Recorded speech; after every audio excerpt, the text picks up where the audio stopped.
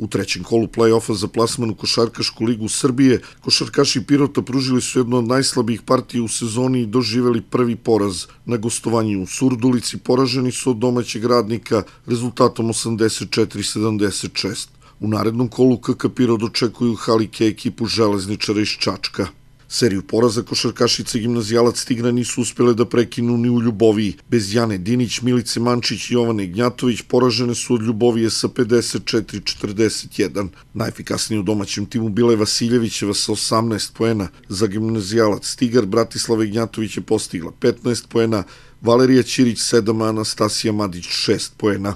U narednom kolu ŽKH gimnazijalac Tigar dočekuje ekipu Stare Pazove. U 13. kolu Super B lige za rukometašice ženski rukometni klub Pirot je na gostovanju u Novom Sadu poražen od Petrova Radina sa 46-22. Najefikasniji u našem timu bila je Simona Tančić sa šest golova, Branka Stojanović i Anita Drinić postigle su po četiri. U narednom kolu Žrka Pirot očekuju Halikej ekipu Srema.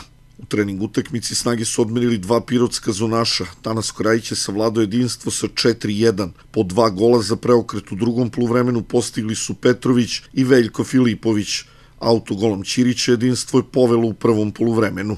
Zvezda iz Blata je sa 2-0 savladala u treningu utakmici ekipu Spartaka iz Prčevca.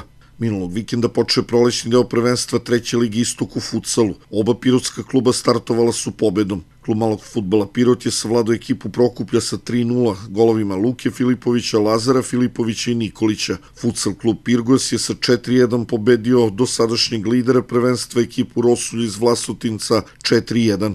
Golove za naš tim postigli su Jonić 2, Selimović i Manić. Jedini gol za goste postigao je Mladenović. U 12. kolu druge ligi Istok odbojkaši Pirota ostvarili su prvu pobedu u sezoni.